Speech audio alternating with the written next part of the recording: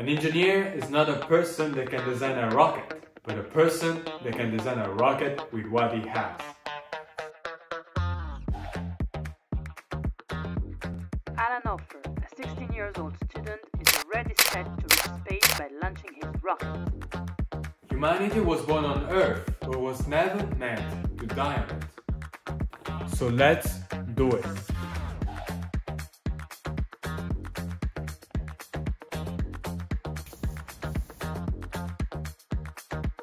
An important quality you will need to have is patience.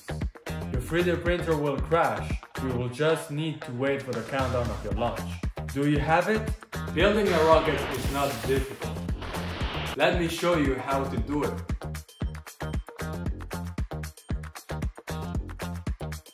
Now that we have our rocket, let's launch it. Wait, we forgot about something, the law. But don't worry, I have a legal solution for that.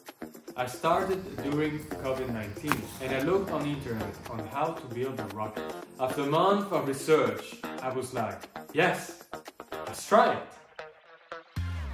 I simplified the research for you and I will teach you what do you need to know to start your journey through rocketry. I'm Alan Offer and join me on Mars Academy.